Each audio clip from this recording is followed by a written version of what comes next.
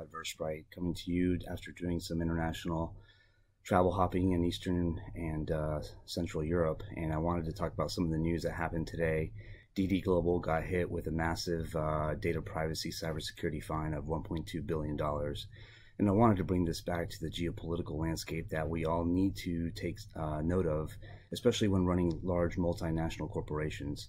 Um, let's start with regulation. So in China, there is has been growing regulation around data privacy and uh, cybersecurity. And as ironic as that may sound um, to many of you listening, um, let's peel back the, uh, the, the the rise of a lot of regulation in China in general, regulation by any government is meant to control. Uh, typically, and hopefully, we, we all as citizens would like to hope that it's done for altruistic reasons to protect the citizens. But in the geopolitical landscape, when especially a closed uh, government is having prominent multinational corporations do business with outsiders, um, it's in their best interest to maintain control of the rising multi-billion dollar multinational companies so that they don't lose control of other uh, liaises that that company might be having with with western companies us companies you know etc so that being said regulation is definitely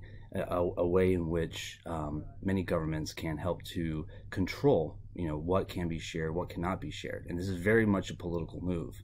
Oftentimes in the united states we think that regulation is just for altruistic reasons state privacy laws federal privacy laws etc uh, of which we don't have in the united states. But um, you know the point is with this DiDi 1.2 billion dollar fine we see you know a prominent mobile platform company that does business with a lot of uh, global companies and uh, we see a massive, massive fee being imposed to some um, to, to some of the actions that DiDi Global has taken. Now, DiDi Global hasn't made any comment on what just happened, um, but they have conceded, uh, at least thus far, to the, the fine, uh, which is interesting. Um, so the point here is, is you know, is number one, you, you, from in today's uh, geopolitical climate, you have to look at geopolitical themes, especially if you're um, you know, part of a multinational company.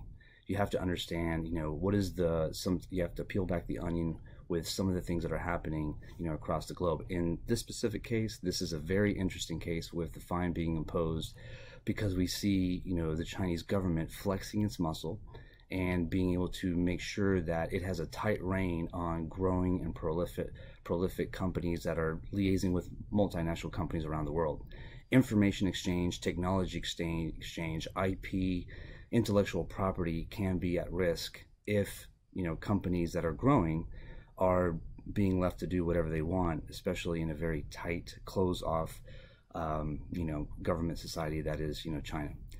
So um, just wanted to bring this to to uh, everyone's attention. Hopefully this was useful. And the key takeaway here is, is also drawing it back to Versprite.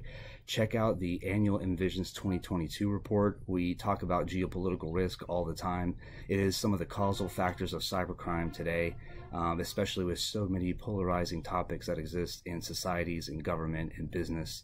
Um, if you're not having geopolitical risk as part of your risk management global framework, then you're really missing a major component to, to do some level of predictive control implementation for your global organization.